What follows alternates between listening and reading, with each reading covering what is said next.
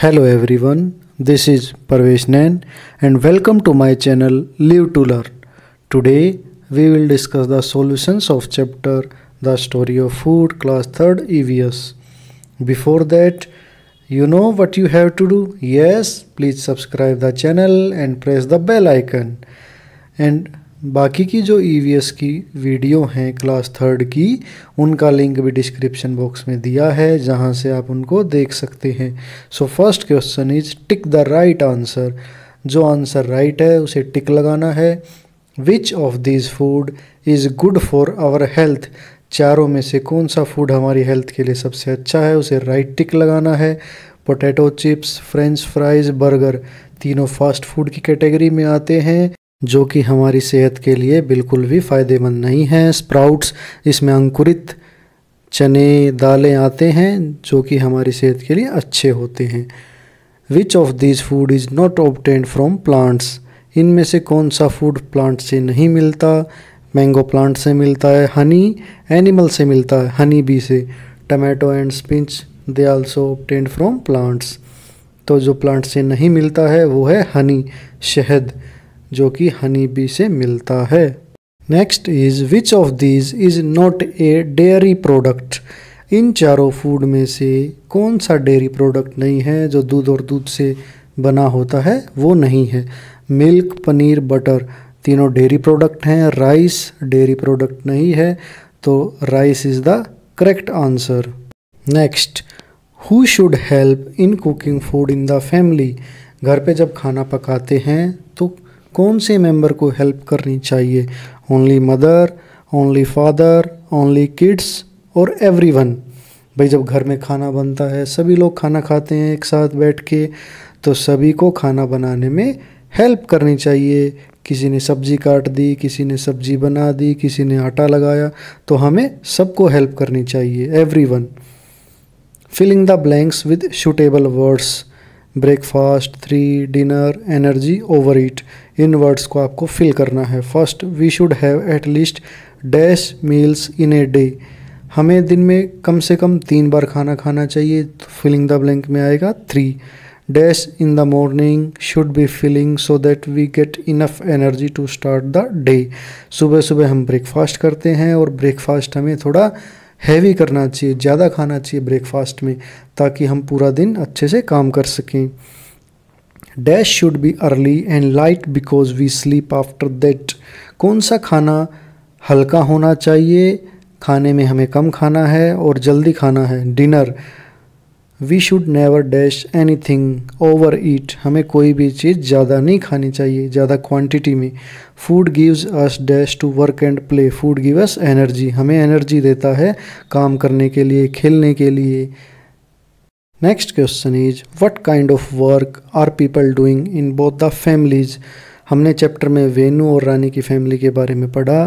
तो दोनों फैमिली में लोग किस किस तरह का काम करते हैं? फ़र्स्ट वेनू की family mother is preparing food father is cleaning the floor जो मदर है, वो खाना बना रही हैं फादर फ्लोर को साफ़ कर रहे हैं। All the people of the family are eating food together और सभी एक साथ मिलकर खाना खा रहे हैं। Mother and father are reading newspaper and Venu is cycling और जो मदर एंड फादर हैं, वो न्यूज़पेपर पढ़ रहे हैं और वेनू साइकिल चला रही है। जबकि रानी की फैमिली में केवल जो फीमेल मेंबर्स हैं, वो काम करती हैं और बाकी आराम कर रहे हैं। Mother is cooking food mother खाना पका रही हैं। Males of the family are having food and Rani is serving food जो मेल्स हैं, जो लड़का है और उसके पापा हैं, वो खाना खा रहे हैं और रानी सर्व कर रही है। Rani and her mother are fetching water and Rani's father is reading newspaper Rani और उसकी मदर पानी लेके आ रहे हैं। और जो रानी के फादर हैं, वो न्यूज़पेपर पढ़ रहे हैं। तो वेनू की फैमिली में सब मिलजुल कर काम करते हैं, जबकि रानी की फैमिली में केवल जो फीमेल मेंबर्स हैं, मदर एंड डॉटर, वो काम करते हैं, जो कि गलत है। घर में सभी को मिलजुल कर काम करना चाहिए लाइक वेनू की family.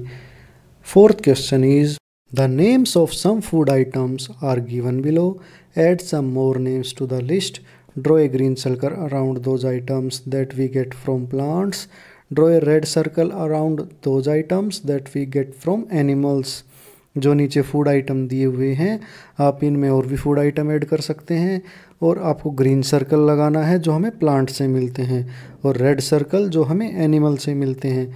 So honey fish yoghurt milk egg meat cheese ये सब हमें एनिमल से मिलते हैं तो हमें रेड सर्कल लगाया। Turmeric corn lemon coriander spinach potato ajwain rice banana wheat tomato onion and chilli ये सब हमें प्लांट्स से मिलते हैं, पौधों से। इसलिए ग्रीन सर्कल लगाया है। आप इस लिस्ट में और भी नाम ऐड कर सकते हैं और आइडेंटिफाई कर सकते हैं, कौन से प्लांट से मिले, कौन से एनिमल से। Fifth when you are sick do you take any medicine which we get from plants what do you take when you जब कभी आप बीमार होते हैं तो क्या आप कोई ऐसी मेडिसिन लेते हैं जो प्लांट से मिलती है? फ़र्स्ट गेट हर्ट अगर आपको कोई चोट लगती है यस अप्लाई टर्मरिक तो हम हल्दी का लेप लगा लेते हैं जो कि प्लांट से मिलता है।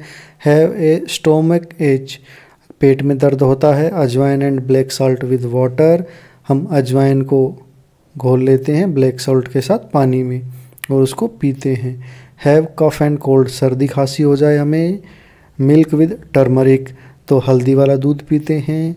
हैव ए टूथेक अगर दांत में दर्द होता है, apply clove oil on teeth तो हम क्लो ऑयल लगाते हैं टिथ पे, या क्लो जो है वो दांतों के बीच में रख लेते हैं तो भी हमें आराम मिलता है।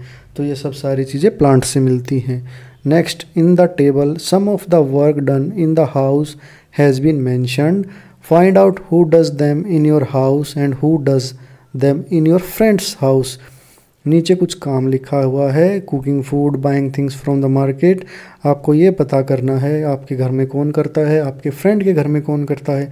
लाइक कुकिंग फ़ूड आपके घर में और आपके फ्रेंड के घर में दोनों में मदर करते हैं। बाज़ार से सामान लाना है मदर एंड फादर स्वीपिंग, अगर घर की सफ़ाई करनी है, आपके घर में मदर, आपके फ्रेंड के घर में mother and sister, cleaning utensils, बर्तनों की सफ़ाई, मदर आपके घर में और फ्रेंड के घर में सिस्टर। ऐसे ही फीलिंग वाटर आप खुद करते हैं अपने घर में, आपके फ्रेंड के घर में फादर करते हैं। रीडिंग, फादर आपकी हेल्प करते हैं, फादर एंड सेल्फ। और आपके फ्रेंड के घर में फादर एंड फ्रेंड। प्लेइंग आप अकेले खेलते हैं सेल्फ और आपके घर में आपका फ्रेंड अगर इसके अलावा ये सब काम आपके घर में कोई मेंबर करता है, कोई हेल्प करता है उस काम में तो आप उसका नाम इसमें ऐड कर सकते हैं. ये केवल एक आपको दिखाने के लिए है आंसर कि इस तरह से आपको ये टेबल फिल करनी है. आप इसमें वो सब फिल कर सकते हैं जो आपके घर में एक्चुअली होता है. सो स्टूडेंट्स उम्मीद है आपको सभी क्वेश्चंस अच्छे से समझ आए होंगे।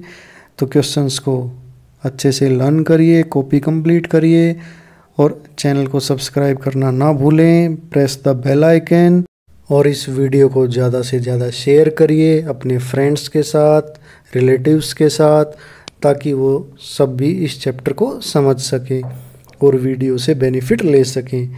So thank you